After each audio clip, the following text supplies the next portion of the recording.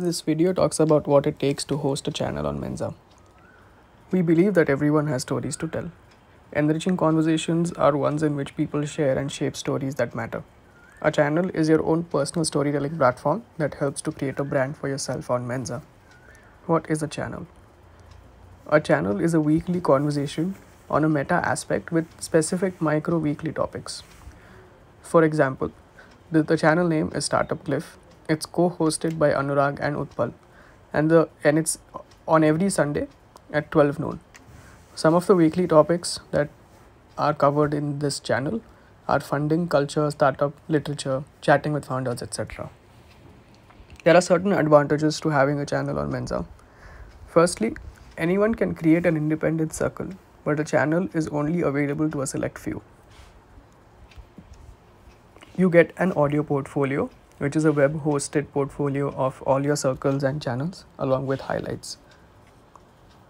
You get access to Mentza Studio. Only channel hosts have access to a studio that allows them to make posts, edit their content, and one click push their content as podcasts on Spotify and Advisor. All upcoming and past recordings on Mentza are a one click share from the app itself. Pushing content has never been so easy. There are some ways to make a successful channel on Mentza. First things to do is to have a complete profile. Having a profile picture and a bio makes a good impression on your followers and audience. Adding social media links makes it easier for you to grow and scale your network. Linking other profiles on Mentza also helps people to follow you on other social media apps where you can promote your circles by making posts and stories. Finding an appealing name for your channel the example here shown is around the books, uh, sorry, around the sun with 52 books. Other examples include 1 minute stories, What the Fork, Life in 2030, Counterspace, Opening the Black Box. Updating the episode name on time. Once your episode is over, the next episode auto populates in your profile without a title.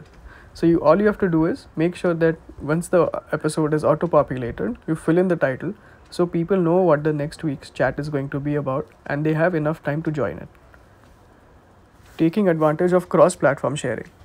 Using the Mentza Studio to make your posts and promoting on LinkedIn, Instagram, Twitter, and WhatsApp can be of advantage so that people can join from everywhere. If you have more questions, visit help.mentza.com and access the FAQs about channel owners.